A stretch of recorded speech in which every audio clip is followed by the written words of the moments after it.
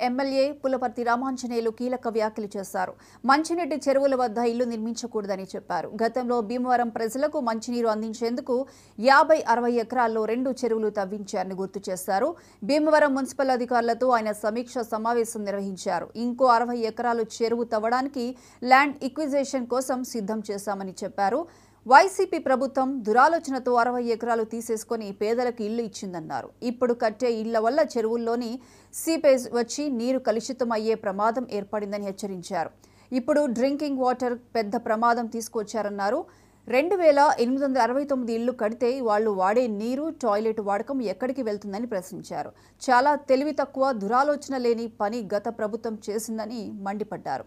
YCP ప్రభుత్వ నిర్ణయంతో యాభై సంవత్సరాల తర్వాత భీమవరం భవిష్యత్ అంధకారమయ్యే పరిస్థితి ఏర్పడిందని అన్నారు.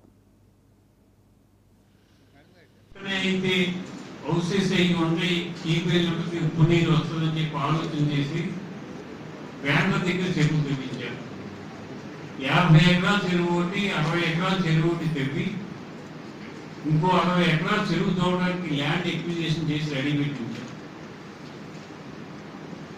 ఇప్పుడు వచ్చిన వైఎస్ఆర్ ప్రభుత్వం ఆలోచన లేక దూరాలోచన లేక అరవై ఎకరాలు తీసేసుకుని పేదవారికి ఇల్లు ఇచ్చింది. పేదవారికి ఇల్లు ఇవ్వడానికి మేము వ్యతిరేకం కాదు. ఆ అరవై ఎకరాల చెరువు పేదవారికి ఇవ్వడం వల్ల భవిష్యత్తులో ఇంకో ట్యాంక్ చూడడానికి ఇబ్బంది ఏర్పడింది. ఏర్పడమే కాకుండా ఇప్పుడు మీరు కట్టే ఇల్లు చీపేజ్ అంతా కూడా చెరువులోకి వచ్చి చెరువు కలుసుకునే ప్రమాదం ఉంది. అది మరి మున్సిపాలిటీ వాళ్ళు అరవై ఎకరాలు ఇవ్వడానికి ఎందుకు ఒప్పుకున్నారు?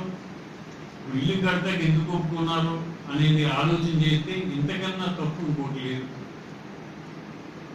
పంట కాలువ ఆనుకుని పంటకాల పరిస్థితులు లేకుండా ఎక్కడైతే నీరు వస్తే అక్కడ ట్యాంకులు తవ్వాలని ఆలోచించి ఆ రోజుల్లో వ్యాన్లో పెట్టారు. ఆ రోజుల్లో వ్యాన్లో పెట్టక్కడ వ్యవహార చుట్టుపక్కల ఎక్కడ ఐదు వేలు రెండు వేలు ట్యాంకులు తవ్వినాం కలుషితం అవుతుందని ఆలోచన చేసి పెద్దలు దూరంగా పెడితే ఊరి చివరి పెట్టినట్లయితే కలుషితం అవుతుంది కట్టని చెప్పి ఆలోచన చేసి పెడితే దాన్ని నాశనం చేసింది ఈ వైఎస్ఆర్ ప్రభుత్వం.